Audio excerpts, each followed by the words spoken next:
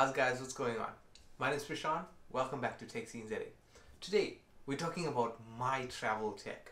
So it's a continu- continuation of my everyday tech. So one of the questions were, what sort of travel tech do you move with? And I mean, I've been to Comic Con, I've been to Rage. There's a lot of other events that have been lined up for 2022, which we are looking forward to. So let's take a look at my camera bag.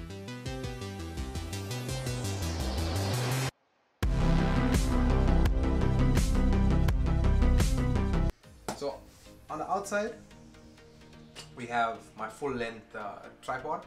The full length tripod, I think it extends to about 1.5 or 1.7, somewhere there. The bag itself, it's an Ultimax bag that actually came with our DJI Mavic 2 Zoom. We used it for the with the Zoom for a while, and then actually moved it towards using it for the camera bag, right? So let's take a look at what's inside the bag. Right, so we met with a lot of things. The main thing, obviously, this main compartment right here, which is empty right now, but that compartment is for the Sony ZV-E10, which is my main go-to camera. It's equipped with a 30mm Sigma lens, and then you can see I have an additional lens right here, which is the Sigma 16. So this is a lens that allows us for a little wider shot and I mean we've done a full review of ZV-E10 you can check that video out. And I mean our lenses just give us more range with the stuff that we're doing right? So apart from our main camera something else tied to the main camera we have a gimbal. And our gimbal is the Xiaomi Crane M2 I'll be honest I own the gimbal but I don't like to use it. I don't know why. Maybe it's just me. Maybe I'm just lazy to learn and actually use it. But we have the Crane M2 and associated with our camera, the gimbal is for stabilization. The next thing we have is the Boya BY MM1, which is also currently not in its bag. It's on the camera. The Boya BY MM1 is our cardioid microphone. It's just sits on the camera and it picks up excellent audio, comes with a dead cat, and it comes with the ability to connect to your camera as well as to your smartphone via cable. But what I'm hoping to do is to move to wireless audio sometime in the near future, saving up for that. So yeah, we have that. Then the next compartment we have right here is what I like to call my sort of action camera compartment. So the first thing we have is our GoPro Hero Session 4. It's in its frame and I mean it has its SD card installed, it's always charged up and it stays in my bag for those quick run and gun sort of uh, shots that require an action camera. The next thing we have in our action camera slot is actually the Insta360 Go. So this is something that's a little more discreet than the Hero Session 4. So why I say it's discreet, right? You can see how tiny this is. And no one actually thinks that it's a camera because it has a magnetic uh, pendant, which I'll just grab it out of here.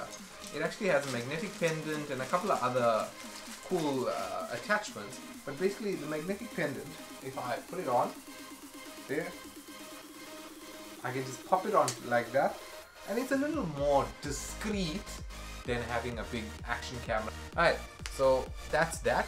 And the last thing we have in our action camera slot is the Insta360 One X2. Right. And it's a really cool piece of kit because this is a 360 camera and I mean if you follow me on social media you would have seen some of the shots that we've got. I haven't been actually fully using this to its potential and I'm actually working into learning how to shoot with this properly and getting that amazing 360 footage. It records a 360 8.7k and it has four omnidirectional audio uh, mics, has a touch screen for control. I actually haven't officially reviewed this item because it's so much to actually look out for. But yeah, you can look forward to seeing the Insta360 One X2 review very, very soon. Alright, and then the next bit of kit we have here is what I like to call the accessory panel. Right, so you've seen all the accessories for the Insta360 Go, and you can see I am a bit of an organized freak. Keep everything in Ziploc bag so it's not getting thrown around. Um, we have a power bank, we have the feet for the Xiaomi Crane 2, we have um, also parts for the Xiaomi Crane M2, we have a little full light we have a bag strap clip for the uh, Hero Session 4. That's where I find myself actually using it a lot. I just clip it to the shoulder strap of the bag and I'm recording and it's not me actually pulling my phone out and that sort of thing. And then the last two things, it's just um, ND filters that we use on the camera. Right, and then coming up here is actually a little bit of cool tech. We have some marketing stuff, some Techscene ZA stickers and uh, uh, keyrings.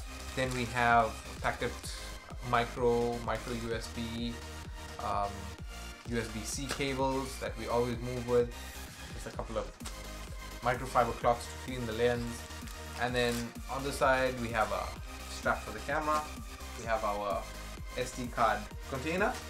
And the most important thing is actually this. So this is a USB-C hub that I use to connect to my phone and then the S8 and then what I can do while we out in the field at events we can just pull the, the memory card out of the camera plug it in here download the footage or the pictures or whatever and then upload it immediately so we're getting high quality content straight to you immediately from events so I mean it, this isn't the biggest bag and it isn't the most expensive bag. It mostly gets the job done. So why I say it mostly gets the job done you can see how full the bag is with the little bit of stuff that we have. And that's excluding the camera and the microphone actually being here. But also um, when, I when I was at Rage I mean the tripod was hanging out just swinging tapping me every couple of minutes. And the, the most irritating thing was the fact that my water bottle couldn't fit in the side of the bag and then I had documents and stuff that was with me that just got squashed in this bag that um, I needed to actually give someone at the event. So the bag, I mean, I'm leaning to getting a new bag, but I'm not just there yet. But yeah, that's been my travel tech. I'd actually like to hear from you guys and see what you think about our gear. If you enjoyed it, you can leave a like rating if you did. Guys, thank you very much for watching. My name is Prashant and I'll catch you in the next video.